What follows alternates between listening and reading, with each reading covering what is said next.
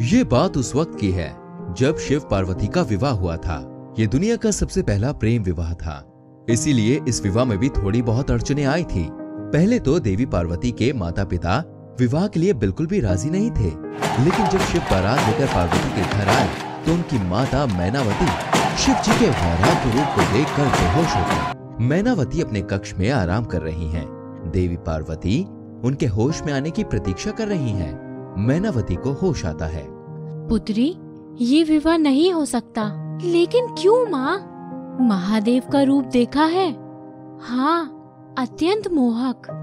ऐसे रूप को तुम मोहक रूप कहती हो।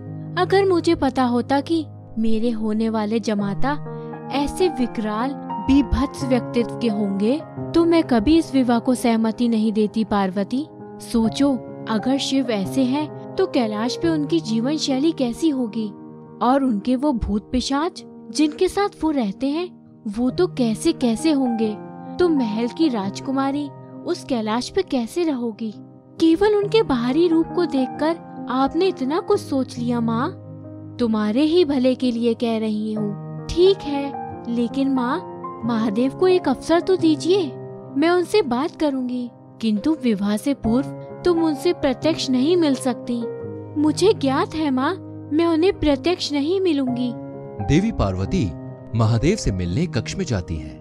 वहाँ दोनों के बीच एक सफ़ेद पर्दा है ताकि वो एक दूसरे को देख ना पाए। पार्वती ये हमारे बीच पर्दा कैसा? विवाह से पूर्व हम आपसे प्रत्यक्ष नहीं मिल सकते। लेकिन क्यों? इसमें अनुचित क्या है? ये सांसारिक नियम है महादेव। आप बहुत भोले हैं, इसलिए इन सबसे अनभिज्ञ हैं, और इसलिए आप अपने वास्तविक वैराग्य रूप में माँ के सामने प्रस्तुत हुए, और माँ आपका ये रूप देखकर मूर्छित हो गई। लेकिन मेरे इस रूप में क्या खराबी है? मैं जैसा हूँ, वैसा ही उनके सामने प्रस्तुत हुआ हूँ, और मैं तो सदैव ही ऐसा हूँ, और ऐसा ही रहूँगा। और तुमने भी मेरे इसी रूप से प्रेम किया है ना? तो मैं तुम्हें पाने के लिए ऐसा रूप क्यों धारण करूँ? क्यों ऐसा बनने का ढोंग करूँ? जैसा मैं हूँ ही नहीं। पार्वती, शारीरिक रूप को देखकर तुम्हारी माँ मेरे मानसिक रूप का प्रत्यक्षीकरण कैसे कर सकती है? ये शारीरिक रूप तो नश्वर है। समय के साथ ढल जाएगा। लेकिन मानसिक सौंदर्य शाश्वत है। वो सदैव रहेगा। पार्वती जी मुस्कुराती हैं। अगर मनुष्य ये समझ पाता तो वो भगवान बन जाता। मेरी माँ भी मनुष्य ही है। इसलिए उनको ये हम नहीं समझा सकते। आपका तो मुझे हर रूप रंग और ढंग पसंद है लेकिन माँ तो ये सब नहीं समझेंगी ना? महादेव आपको एक अत्यंत मोहक रूप धारण करना होगा नहीं तो हमारा मिलन असंभव है। लेकिन मेरे लिए। किंतु मैं रहा वैरागी। मुझे कैसे पता कि विवाह के लिए कैसे तैयार होते हैं? तभी विष्णु जी प्रकट होते हैं। मैं हूँ ना? मैं खुद अपने हाथों से आपको अलंकृत कर आपका दिव्य श्रृंगार करूँगा। फिर मैनावती आपके ऐसे अत्यंत मोहक रूप को देखकर आपको अपने जमाता के रूप में स्वीकार अवश्य करेंगी।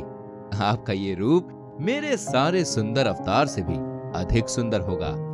और ये जगत में आपका दिव्य रूप चंद्रशेखर के नाम से जाना जाएगा। धन्यवाद नारायण।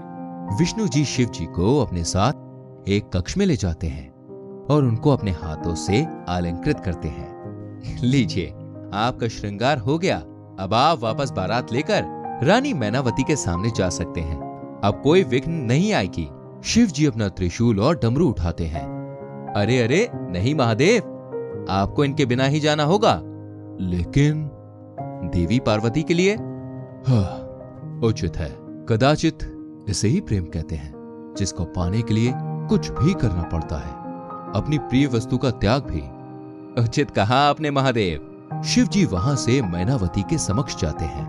मैनावती अपने होने वाले जमाता का ऐसा अलौकिक रूप देखकर बहुत खुश हो जाती हैं। अब तो आप विवाह के लिए मना नहीं करेंगी ना माँ? बिल्कुल नहीं। आप जैसे जमाता पाकर मैं तो धन्य हो गई महादेव। मैं इस विवाह को सहर्ष अनुमति देती हूँ।